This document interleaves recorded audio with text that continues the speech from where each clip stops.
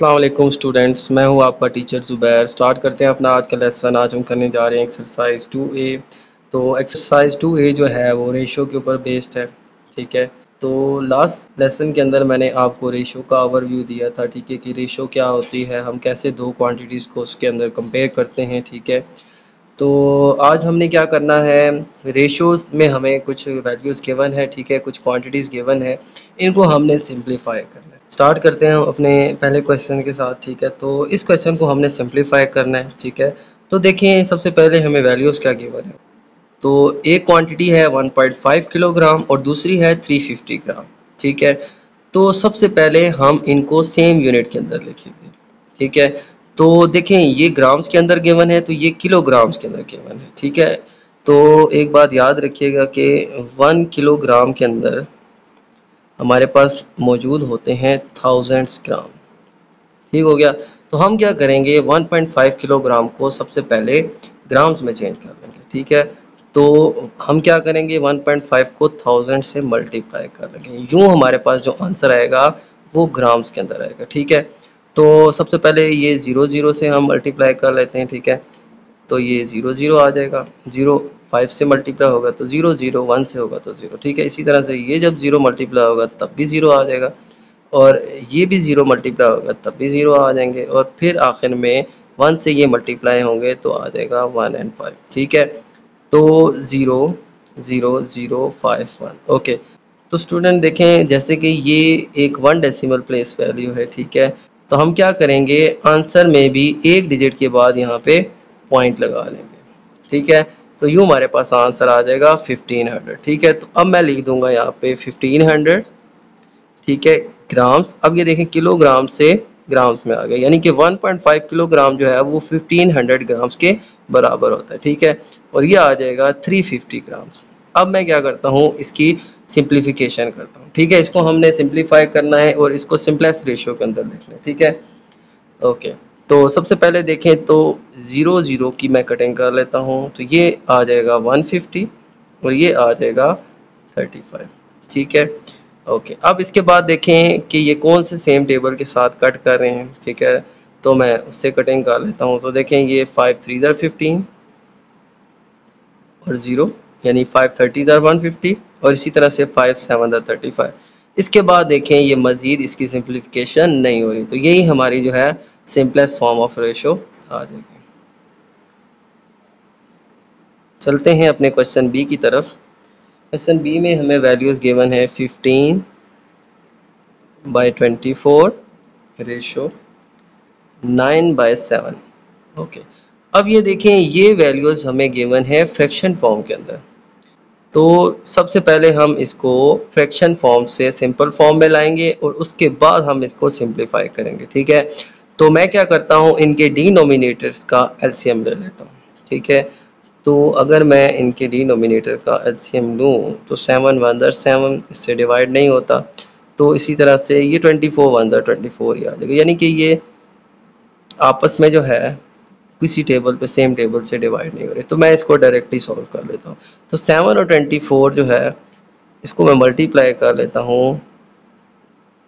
तो आ जाएगा four seven twenty eight two carry seven two the fourteen and two sixteen तो one sixty eight जो है, इसका एल सी एम आ जाएगा। ओके तो अब मैं क्या करूँगा? ये जो इनका एल सी एम आया है, इसको मैं दोनों तरफ़, दोनों रेशियोज़ के साथ मल्टीप्लाई कर लें तो 168 को मैं मल्टीप्लाई कर देता हूँ 15 बाय 24 से भी, ठीक है?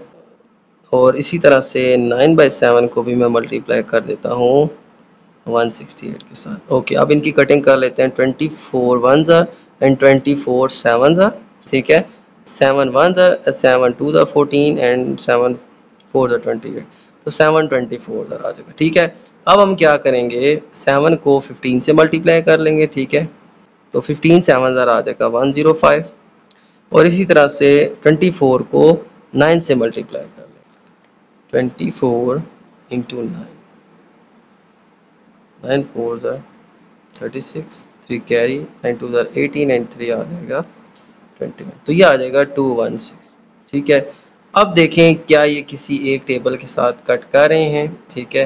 तो देखें ये थ्री से कटिंग जो है इनकी हो रही है। तो मैं लिख देता हूँ थ्री थ्री ज़ार नाइन। ठीक है? ये टेन है। वन आगे फाइव के साथ जाएगा तो फिफ्टीन हो जाएगा तो थ्री फाइव ज़ा फिफ्टीन ओके थ्री सेवन ज़ा ट्वेंटी वन ठीक है. और थ्री टू ज़ा सिक्स ठीक है. इस तरह से इनकी कटिंग जो है वो हो रही थी. तो अब ये सिंपलेस्ट फॉर्म के अंदर आ गया है thirty five and seventy two okay student next जो क्वेश्चन है वो है क्वेश्चन नंबर सी तो क्वेश्चन नंबर सी में हमें गिवन है zero point four five ratio zero point eight five okay तो इस क्वेश्चन में हम क्या करेंगे? ठीक है? तो हम क्या करते हैं? सबसे पहले एक सिंपल सा मेथड आपको बताता हूँ कि हम दोनों तरफ़ अगर 100 से इसको मल्टीप्लाई कर लें, वहाँ पे हमने इसको, इसके एलसीएम से मल्टीप्लाई किया था तो इस इस क्वेश्चन में मैं अगर 100 को दोनों तरफ़ मैं मल्टीप्लाई कर दूँ, ठीक है? तो ये बड़ी इजीली क्वेश्चन सॉल्व हो जाएगा, ठीक है? तो इससे यह क्या होगा कि डेसिमल से एक सिंपल फॉर्म में आ जाएगा और फिर हम इसकी ईजीली कटिंग कर लेंगे ठीक है? तो सबसे पहले मैं इसको 100 से मल्टीप्लाई करता हूँ। तो 100 मल्टीप्लाई 0.45 रेशो 0.85 मल्टीप्लाई 100 ओके 100 से मल्टीप्लाई करने से क्या फ़ायदा होगा कि ये इजीली डेसिमल से एक सिंपल नंबर में आ जाएगा, ठीक है? और इस तरह से हमारी कटिंग करना या इसको सिंप्लीफाई करना जो है वो आसान हो जाएगा, ठीक है? तो अगर हम 0.45 को 100 से मल्टीप्लाई करें तो ये आता है हमारे पास 45 और इसी तरह से पॉइंट एटी फाइव को 100 से मल्टीप्लाई करें तो ये आ जाता है हमारे पास 85 यूँ हमारा ये नंबर डेसिमल से सिंपल नंबर में आ जाएगा, ठीक है? तो इस तरह से अब इसकी कटिंग करना जो है वो ईजी हो जाएगी।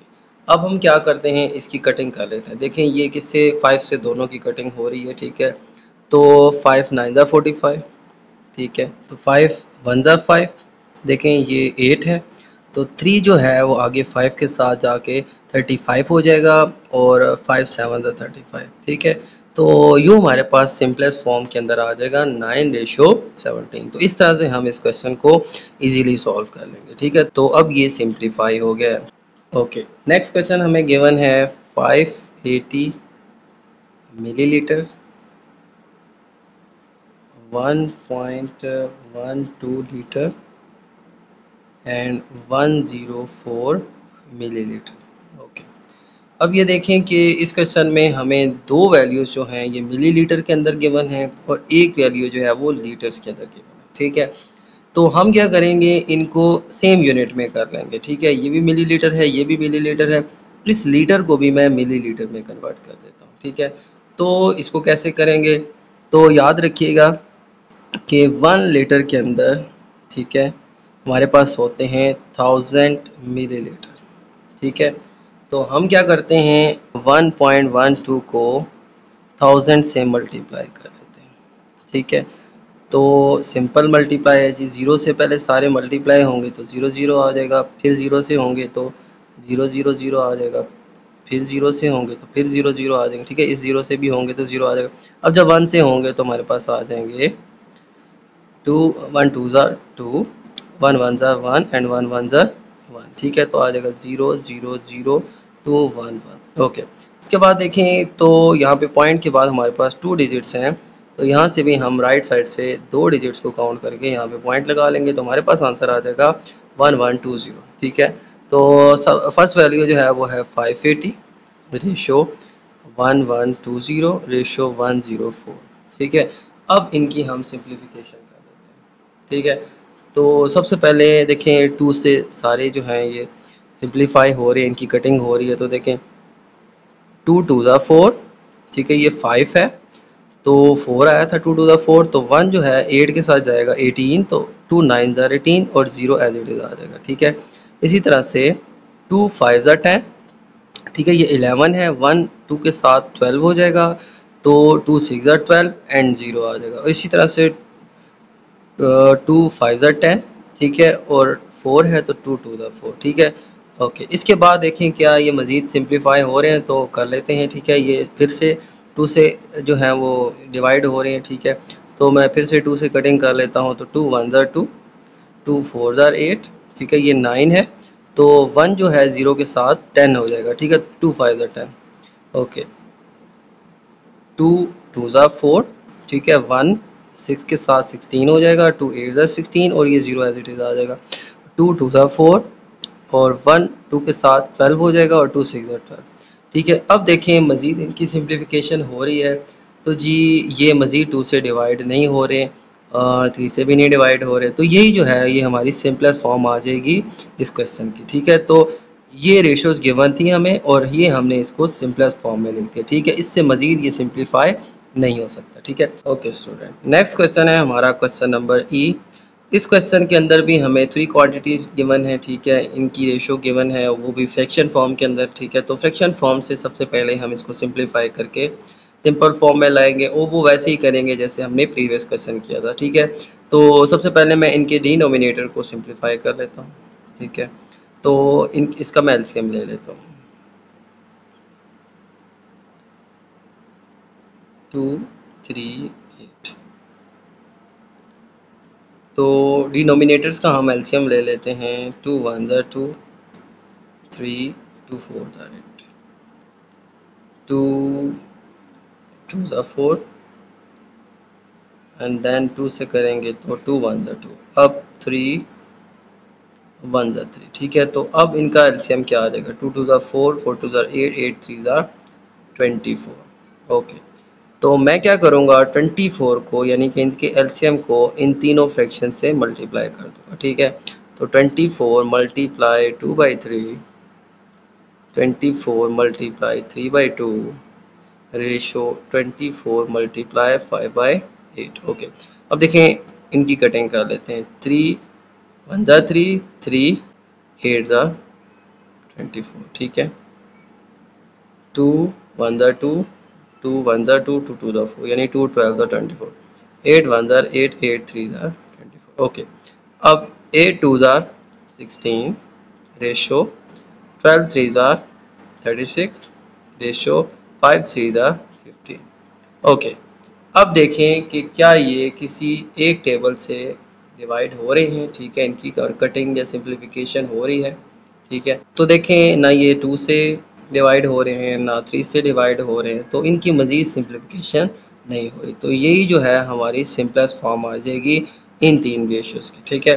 चलते हैं नेक्स्ट क्वेश्चन की तरफ़। नेक्स्ट क्वेश्चन में हमें गिवन है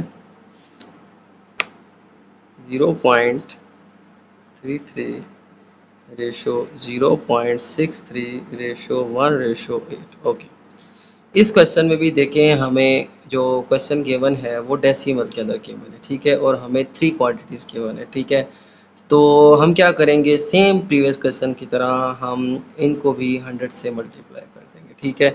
ये हंड्रेड से हम क्यों मल्टीप्लाई करते हैं? क्योंकि देखें पॉइंट के बाद हमारे पास दो डिजिट्स हैं, ठीक है? तो हमें वन ज़ीरो ज़ीरो यानी कि दो ज़ीरो वाली वैल्यू यानी कि हंड्रेड चाहिए, ठीक है? उससे हम मल्टीप्लाई करेंगे तो इनका डेसिमल जो है, वो ख़त्म हो जाएगा, ठीक है?